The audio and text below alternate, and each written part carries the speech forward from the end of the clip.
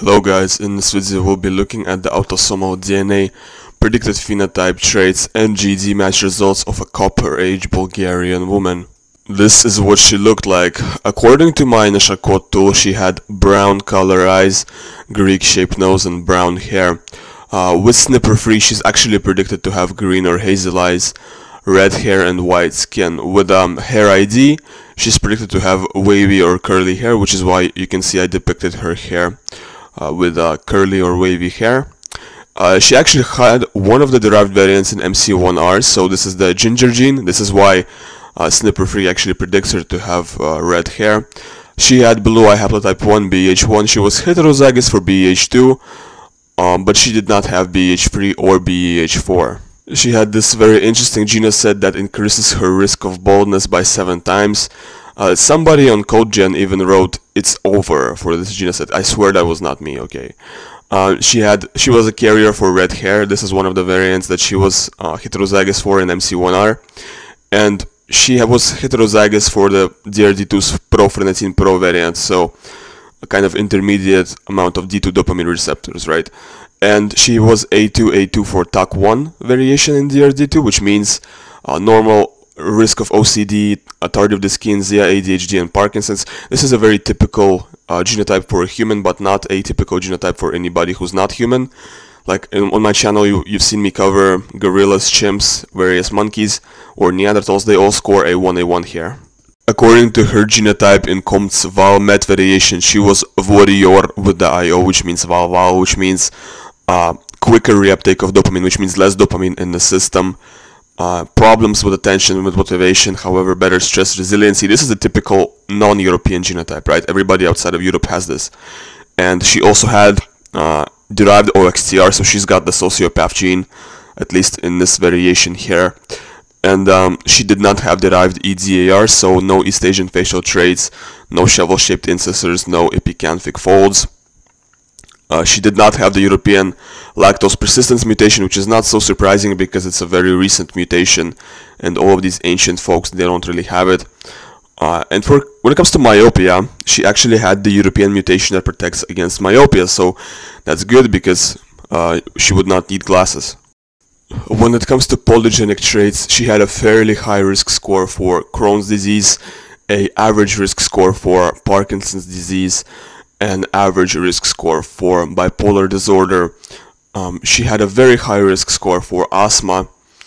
She had a pretty low risk score for schizophrenia.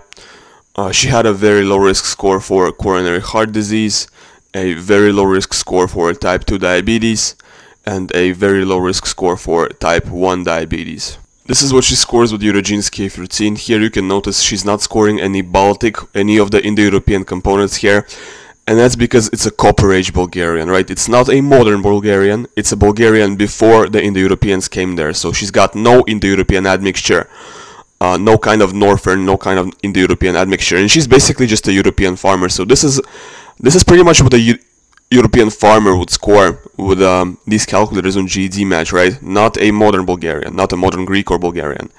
And with um, G25 you can see more of the same. She's scoring like a typical European farmer. She's closest to Sardinians.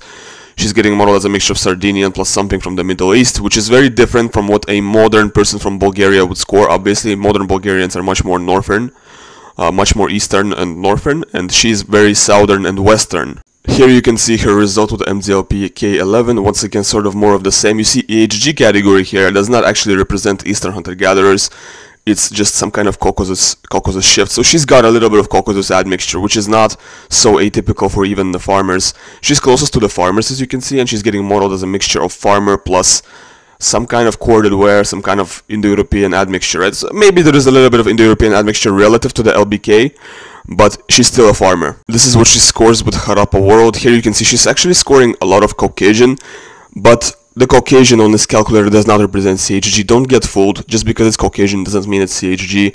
Uh, she's not scoring any Baloch, which is the actual CHG component here. So she's she doesn't have CHG admixture, right? As, at least not as much as 27%. She's got like 12% CHG according to PuntDNAL K10, where the CHG category actually does represent Caucasus. which is not a lot, you know, 12%, not a lot. Uh, she's getting modeled as a mixture of Sardinian plus Iraqi Jewish or Sardinian plus Cypriot, and the Cypriot, the, the reason she's getting modeled as Sardinian plus Levant is actually because of the little bit of CHG admixture that she has. Finally, this is what she scores with PuntDNAL K10. Here you can see once again she's scoring around 11%, 11.5% of Caucasus HG admixture. Uh, which is you know pretty typical for farmers in the Balkans and she's actually closest to Iceman here which is very interesting uh, she's getting modeled as a mixture of Iceman plus Armenian Middle Bronze Age or Iceman plus Satsurblia. So relative to the Iceman, she's got a little bit of Caucasus admixture, and she's closest to Sardinians here with the modern modern population oracle. And with the modern oracle, she's getting modeled as a mixture of Sardinian plus Palestinian or Sardinian plus Syrian, basically a mixture of Sardinian and somebody from the Levant. This is what she scores with Ancient Eurasia K6. She's actually scoring 6% Ancestral North Eurasian, which is isn't that much, but it's probably mostly from the Caucasus HG admixture that she's got. And she's closest to Sardinians here, followed by European Neolithic, and she's actually getting modeled as a mixture of European farmer, plus Pashtun or Pathan or Kalash, basically a mixture of... Here it's different, here it's kind of different, because previously it was a mixture of Sardinian plus uh, Levant, but here it's a mixture of European farmer plus some kind of West Asian groups. This is what she scores with Gedrosia K3, mostly West Eurasian. Clearly, she's got a lot of modern West Eurasian drift, even though, uh, even though this is a Copper Age individual, she's very modern in her genetics. Thank you guys for watching until the end. Leave a like and subscribe if you enjoyed this video, and you can download this sample in 23andMe format from link, which is in the description. Goodbye.